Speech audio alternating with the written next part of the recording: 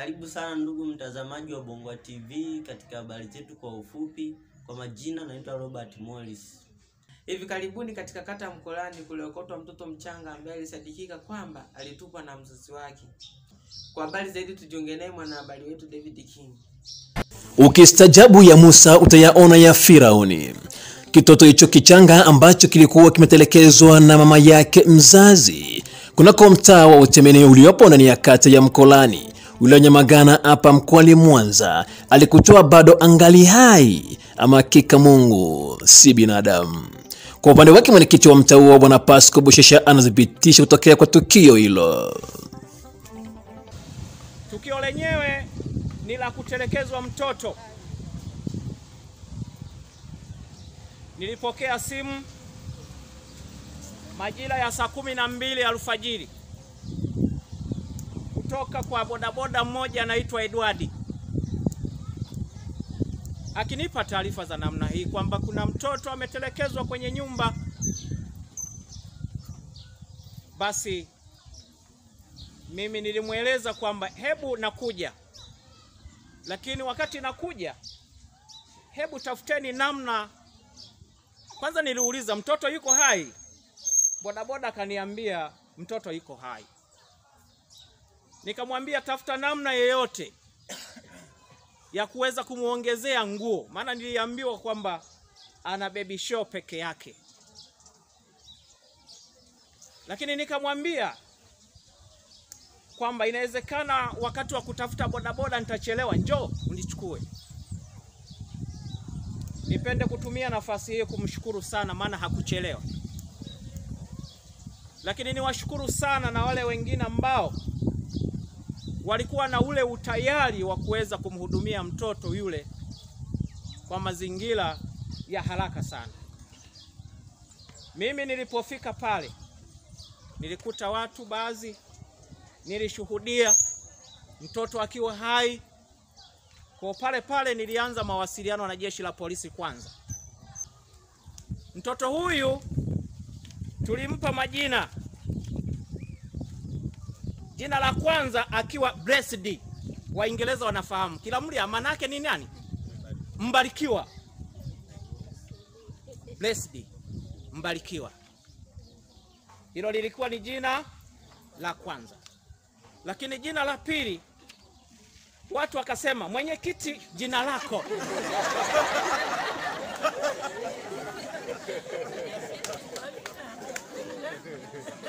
ah, nikasema ndugu zangu, tena mmenipa mtoto.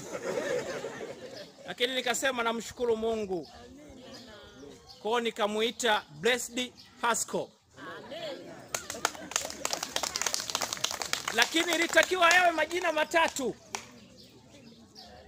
mimi na mama Rimo tukakaa pembeni, tukasema jina la tatu tunampa nani?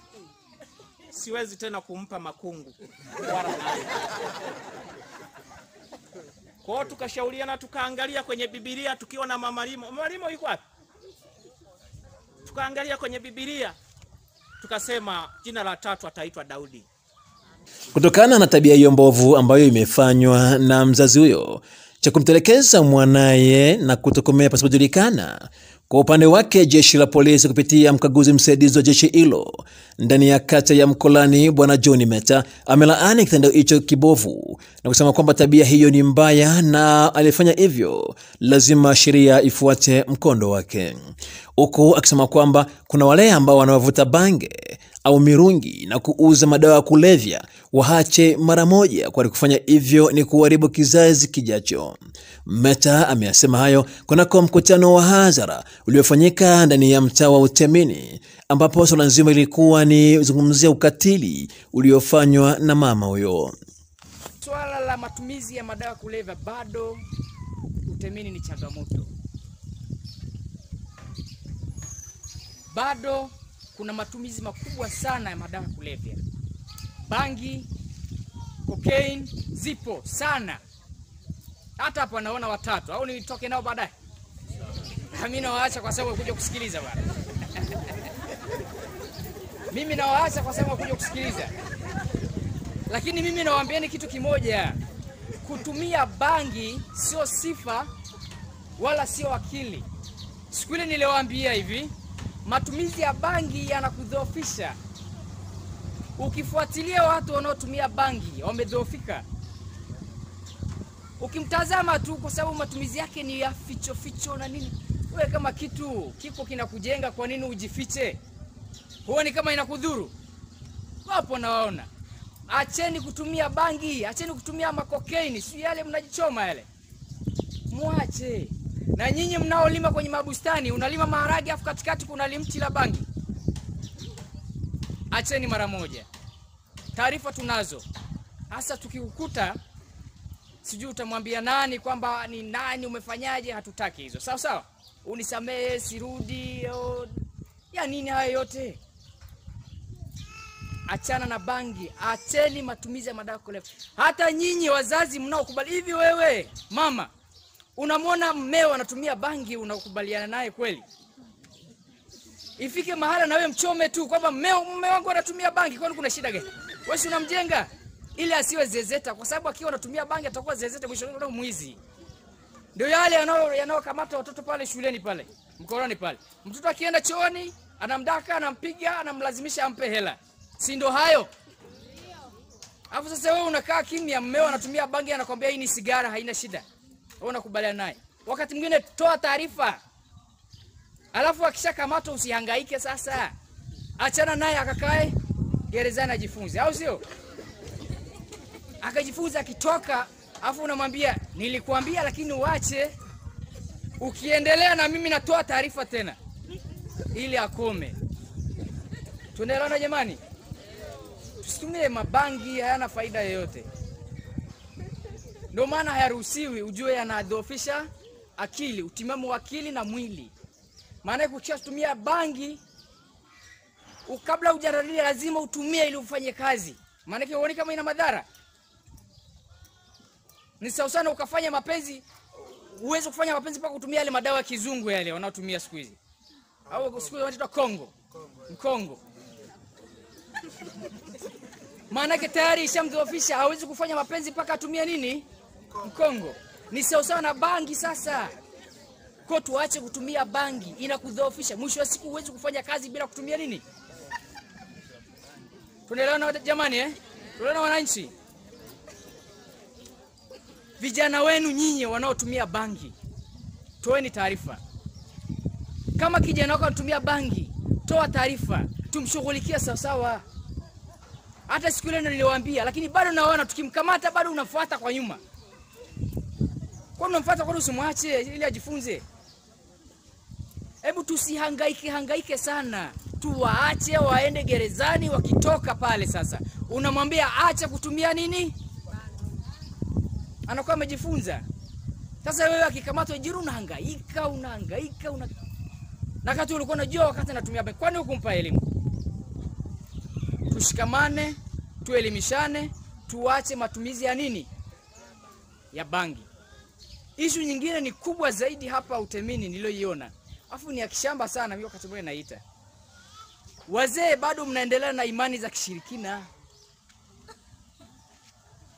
Mzee, unakwenda kunywa pombe, ukishatoka kwenye mapombe yako unakwenda kutesti mtambo wako kwa mtoto mdogo.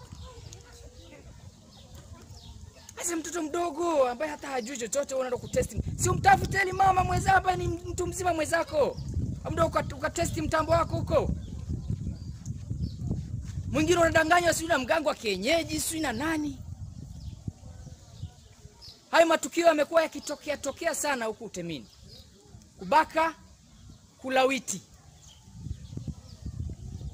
wahusika wazee, japo hapo na vijana lakini asilimia kubwa ni wazee. Wazee, shida iko wapi? Wazee, shida iko wapi? Hivi huku mna waganga wengi wa kienyeji eh?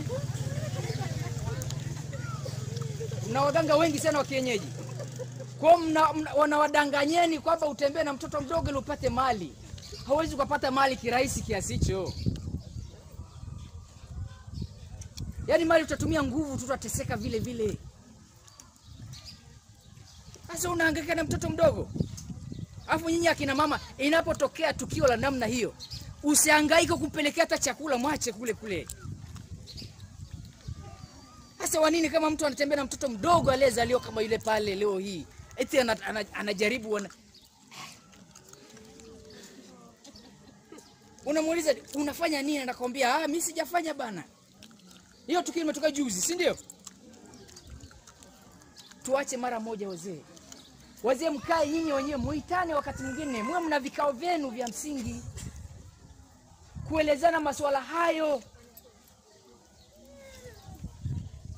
Ni maadili ya ajabu sana. Kama nyinyi wazee mnafanya hivyo, hasa vijana wanaochipuka watafanyaje? Si ndio wanakimbilia maeneo ya shuleni pale, wanabaka watoto wadogo, japo angalau sasa hivi kidogo kumepungua, ila wazee wa utemini mnatuangusha, mkifuatiwa na wazee wa, wa, wa wapi Nyaingi pale, mitaa miwili haya, mna shida gani wazee? Kuna shida gani? Maka nazungumza leo Na huu ndo mwisho wa habari kwa ufupi kutoka Bongwa TV. Ulikuwa nami Ernest Morris. Asante sana. pamoja na Robert Morris. This is Channels Television's breaking news.